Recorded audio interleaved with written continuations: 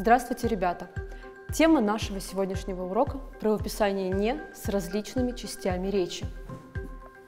Давайте для начала я предложу вам выполнить задание номер 13 из сборника ЕГЭ. Звучит оно следующим образом. Определите предложение, в котором «не» со словом пишется слитно, раскройте скобки и выпишите это слово. Первое. Тугие бутоны еще не распустившихся роз источали тонкий аромат. Второе. Негромкий, но неожиданный стук в дверь испугал Юрия. Третье. Марусю нельзя было назвать красавицей, однако она была не лишена обаяния. Четвертое. Не дожидаясь разрешения, Григорий решительно вошел в комнату. И пятое – это был никто иной, как мой друг Борька. Итак, ребята, для того, чтобы верно выполнить это задание, нам необходимо вспомнить правила. Все эти правила вы уже изучали на протяжении 6 и 7 класса. Сегодня мы с вами систематизируем материал и повторим изученное вами. Итак, обратите внимание на алгоритм определения правописания слова «сне». Первое. Если слово без «не» не употребляется, то с любой частью речи пишется слитно. Например, ненависть, не взлюбив, небрежно. Второе. Если слово употребляется без «не», тогда необходимо определять часть речи. Первое. Существительными, прилагательными, наречиями на ОЕ слово пишется слитно, если можно подобрать синоним. Например, нехорошо, недруг, не холодный. Раздельно пишется с этими частями речи, если есть противопоставление с союзом «а». Например, не хорошо, а плохо. Однако, ребята, запомните, что некрасивый, но добрый пишется слово с неслитно, потому что это мнимое противопоставление. Э, противопоставляются абсолютно разные качества. Следующее. С глаголами и деепричастиями не всегда пишется раздельно. Например, «не вижу», «не сделав». Следующее. С полными причастиями без зависимых слов слово пишется слитно. Если появляется зависимое слово, то слово пишется раздельно. Например, нерешенная задача, а нерешенная мной задача уже будет писаться раздельно. При этом, ребята, очень важно уметь определять, где же определяемое слово, а где зависимое. Это сделать очень просто. Задача какая нерешенная? То слово, которое зависит от имени существительного, это причастие. А слова, зависящие от самого причастия, называются зависимыми. Итак, ребята, кроме этого, с краткими причастиями всегда слово пишется раздельно. Например, не решена, не, не прочитана, не разгадана. Следующее. С отрицательными и определенными местоимениями и наречиями слово пишется слитно, при наличии предлога раздельно. Например, негде. Это наречие пишу слитно. Неким местоимение пишу слитно, но слово «не с кем» здесь появился предлог, поэтому мы пишем раздельно. Запомните, есть такие сочетания, которые пишутся всегда раздельно. Это «никто иной как» и «ничто иное как». При этом запомните, что перед «как» здесь всегда ставится запятая. И существует еще два амонимичных слова, это «несмотря на». В одном случае «несмотря на» будет писаться слитно, и будет производным предлогом, например, несмотря на обстоятельства. Во втором случае, несмотря на маму, это деепричастие и частица. Как же отличить, где деепричастие и частица, а где производный предлог? Для этого, ребята, необход... мы можем производный предлог заменить на вопреки, а э, деепричастие и частицу не глядя. Давайте с вами потренируемся. Итак, Задание номер 13. Определите в предложении, в котором не со словом пишется слитно. Раскройте скобки и выпишите это слово. Первое предложение. Она, ничего не ответив, продолжала смотреть в небо. Итак, ничего не ответив, не ответив – это деепричастие, поэтому мы будем писать раздельно. Следующее. Наступила осень с нескончаемыми дождями, мокрыми дорогами, с тоской по вечерам. Нескончаемыми – это полное причастие, здесь нет зависимого слова, поэтому мы будем с ней писать слитно. Но на всякий случай, ребята, необходимо проверить и все остальные варианты. Итак, дождь продолжался, но не сильный, как утром, а слабый моросящий. Не сильный – это не с прилагательным, но у нас есть противопоставление, не сильный, а слабый, поэтому мы пишем раздельно. Следующее предложение. Так и не появившийся на сцене ревизор тревожит всех обывателей. Итак, ребята, э, не появившийся – это причастие с «не», но при этом есть зависимые слова. Не появившийся где? На сцене. Пишем раздельно. И последнее предложение – окно на кухне было не занавешено. Не занавешено – это краткое причастие, поэтому я пишу с «не» раздельно. Итак, соответственно, выписать вам необходимо будет слово нескончаемыми. Хочу обратить внимание, что в ЕГЭ вы должны выписывать в той же форме, в которой представлено в предложении. Следующее. Итак, определите предложение, в котором не со словом пишется слитно. Раскройте скобки и выпишите это слово. Первое предложение. Вскоре показались еще неухоженные сады городской окраины. В этом случае перед нами причастие полное с зависимым словом «еще», поэтому мы будем писать его раздельно. Второе предложение. Ни разу мальчик не видел такого зрелища. Здесь слово «не видел», глагол «сне», он всегда пишется раздельно. Третье предложение. За давно некрашенным забором оказался приезжий зверинец. Давно некрашенным. Мы видим, что перед нами причастие. Это причастие полное, но есть зависимое слово «давно», поэтому мы пишем раздельно. Следующее предложение. В мертвых душах весь город обсуждал чичиковских мужиков, которых уже не было на свете. Перед нами не было. Как же определить, как мы пишем это слово? Это глагол, он употребляется без «не», поэтому мы будем писать его раздельно. И последнее предложение. Общество, ненавидящее личность, само обрекает себя на гибель. Итак, перед нами слово «ненавидящее». Это полное причастие. И, казалось бы, по правилам мы должны были писать его слитно. Но первый, первый, на что мы смотрим в этом случае, это то, что «не», здесь не, слово без «не» не употребляется, поэтому пишем слитно. И, соответственно, нам нужно будет, нужно будет выписать слово «ненавидящее» в той же форме, в которой представлено в этом задании. Еще одно задание. Здесь тоже нужно определить предложение, в котором слово «сне» пишется слитно, раскрыть скобки и выписать это слово. Итак, первое. Липы в старом саду не вырублены, их удалось сохранить. Здесь не вырублены, это краткое причастие, мы пишем его «сне» раздельно, всегда. Второе предложение. Солнце брызгами яркого света взрывает тайгу, еще не успевшую стряхнуть с себя ночной покой. Не успевшую. Итак, ребят, это причастие, это полное причастие. При этом мы видим, что в этом предложении есть причастный оборот. Тайгу какую? Еще не успевшую стряхнуть с себя ночной покой. Соответственно, мы можем сделать вывод. Э, если не э, с причастием находится в причастном обороте, то всегда с не пишется раздельно потому что есть зависимые слова. Третье. Совсем не старинная, а очень современная шляпа. Слово не старинное, это прилагательное. Мы пишем его раздельно, потому что есть противопоставление, а современное. Следующее предложение. Несмотря на сухую погоду, в затянутых травой кюветах блестела вода. Несмотря на – это производный предлог. А почему? Потому что мы можем заменить его на вопреки, то есть вопреки сухой погоде. Мы пишем слово «сне» слитно. В полном одиночестве он простоял с минуту, не решаясь двинуться дальше. Не решаясь – это деепричастие, поэтому «сне» пишем раздельно. Соответственно, ребята, нам нужно будет выписать слово «несмотря». Домашнее задание. Домашнее задание предлагаю вам выполнить по учебнику базового, для базового уровня обучения под редакцией а, Власенкова и Рыбченковой. Это будет упражнение 354. Кроме этого, выполнить тестовые задания номер 13 на сайте Решу ЕГЭ.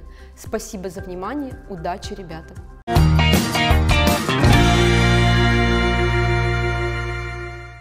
Здравствуйте, дорогие семиклассники, и мы вновь занимаемся вашей любимой геометрией. Сегодня мы посмотрим с вами на примеры решения задач для подготовки к всероссийской проверочной работе. Всероссийская проверочная работа в седьмом классе содержит только две задачи по геометрии, так как вы только начали изучать геометрию. Это тринадцатое задание, вес которой 1 балл, где вам нужно будет записать только ответ. Итак, рассмотрим задачу под номером один. Вам нужно будет найти расстояние от точки А до отрезка СБ. Для этого, конечно, нужно будет соединить точки С и Б и по клеточкам провести перпендикуляр из точки А до отрезка СБ. Как вы видите на рисунке, длина этого перпендикуляра будет 2 клеточки, то есть 2 сантиметра. Под цифрой 2 у вас задача подобная. То же самое находим расстояние от точки А до отрезка СБ. Опять соединяем точки С и Б и из точки А опускаем перпендикуляр. Как вы видите, длина перпендикуляра всего один, одна клеточка, то есть 1 сантиметр. В третьей задаче вам нужно будет найти расстояние от точки А до середины отрезка BC. Вам нужно будет соединить точки B и C и, соединив точку А с серединой отрезка BC, увидите, что расстояние это будет равно раз, два, три, четыре, пять клеточек, то есть 5 сантиметров. Посмотрим на четвертую задачу. Вам нужно найти расстояние от точки С до середины отрезка АБ. Опять соединяете точку С с серединой отрезка АБ и получаете, что это расстояние равно 3 сантиметрам. Задача под номером 5 несколько другая. Вам нужно найти площадь фигуры, изображенной на рисунке. Площадь одной клеточки – это квадратик. Одна клеточка – это квадратик со стороной 1 см. Тогда площадь одной клеточки будет равна 1 квадратный сантиметр. И тогда, чтобы найти площадь данной фигуры, вы должны просто посчитать количество клеточек.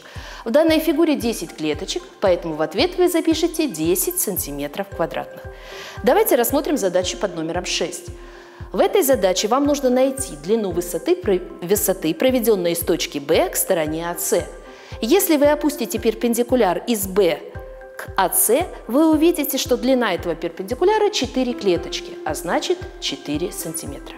Давайте рассмотрим 14 задание. Это уже задача, которую вы должны написать с развернутым решением и ответом. Итак, в треугольнике АБЦ проведена биссектриса АЛ, угол АЛС равен 121 градус, угол АБЦ равен 101 градус. Найдите угол АЦБ. Ответ дайте в градусах. Мы не будем с вами писать дано и начнем сразу с решения. Поскольку угол АЛС является внешним углом для треугольника АБЛ, давайте вспомним с вами теорему о внешнем угле треугольника – которая говорит нам, что внешний угол треугольника равен сумме двух других углов, неснежных, несмежных с ним. Поэтому угол АЛС, угол АЛС будет равен сумме углов BAL плюс ABL плюс угол ABL. Откуда мы с вами легко сможем найти угол BAL. Будет равен 121 градус, это угол АЛС, минус 101 градус. Это угол АБЛ. И мы получим, что угол БАЛ, градусная мера его равна 20 градусов. Поскольку АЛ у нас биссектриса, то значит весь угол А будет в два раза больше, чем угол БЛ. И угол А будет равен 2 умножить на 20 градусов, мы получим 40 градусов. И тогда найти угол АЦБ, а точнее угол С в треугольнике АБЦ нам будет очень даже просто. Мы знаем два угла в этом треугольнике, чтобы найти третий, нам нужно от 180 градусов отнять сумму этих двух углов. Итак, угол АЦБ будет равен 180 градусов минус 40 градусов плюс 101 градус. 40 градусов плюс 101 мы получим 141 градус. И угол АЦБ будет равен 39 градусов. Запишите ответ, пожалуйста, 39 градусов и рассмотрим следующую задачу. Два внешних угла треугольника при разных вершинах равны. Периметр треугольника равен 78 сантиметров, а одна из сторон равна 18 сантиметрам. Найдите две другие стороны треугольника. Давайте построим чертеж, так как чертежа у нас нету. Быстренько построим чертеж. Нам дан треугольник АБЦ. И в этом треугольнике внешние углы при разных вершинах будут равны. Обозначим один внешний угол, угол 1, второй внешний угол, угол 2. Нам сказано, что периметр треугольника равен 78 сантиметров, а одна из сторон этого треугольника равна 18 сантиметрам. Но мы с вами не знаем, какая сторона равна 18. И нужно найти две другие стороны этого треугольника. Конечно, если внешние углы в треугольнике равны, то значит смежные с ними внутренние углы тоже равны. Давайте это запишем. Так как угол 1 равен углу 2, то угол А будет равен углу С, а значит наш треугольник АБС будет равнобедренный. Следовательно, АБ будет равно БС. Ну и у нас э, получается два варианта решения. Предположим, что 18 сантиметрам будет равно наше основание АС. Итак, рассмотрим первый вариант решения. Пусть АС будет равно 18 сантиметрам. Тогда, чтобы найти боковые стороны, которые равны, мы должны от 78 отнять 18 и разделить на 2. Итак, АБ будет равно БС и будет равно 78 минус 18, деленное на 2. Мы получили 30 сантиметров. Но есть еще и вторая возможность. Предположим, что 18 сантиметрам будет равна боковая сторона. Итак, АБ равно БС и равно 18 сантиметрам. Тогда, чтобы найти основание АС, мы должны от 78 отнять сумму двух боковых сторон. АС будет равно 78 минус 2 умножить на 18, минус 36 для того, чтобы найти АС, мы должны от 78 отнять 2 умножить на 18, и мы получим 42 сантиметра. Получилось, что в нашем треугольнике одна сторона больше суммы двух других сторон, а этого быть не может. Итак, так как АС больше, чем АБ плюс BC, что противоречит неравенству треугольника, то такой треугольник существовать не будет. Треугольник не существует. И поэтому данный способ, второй вариант решения нам не подходит. И поэтому мы рассматриваем только единственное решение, в котором две другие стороны треугольника будут равны по 30 сантиметров. Запишите, пожалуйста, ответ 30 сантиметров. Итак, мы с вами рассмотрели решение некоторых задач для подготовки к всероссийской проверочной работе. На дом вам нужно будет рассмотреть еще одну задачу, которая сейчас написана на доске. Подумайте, постройте чертеж и решите эту задачу.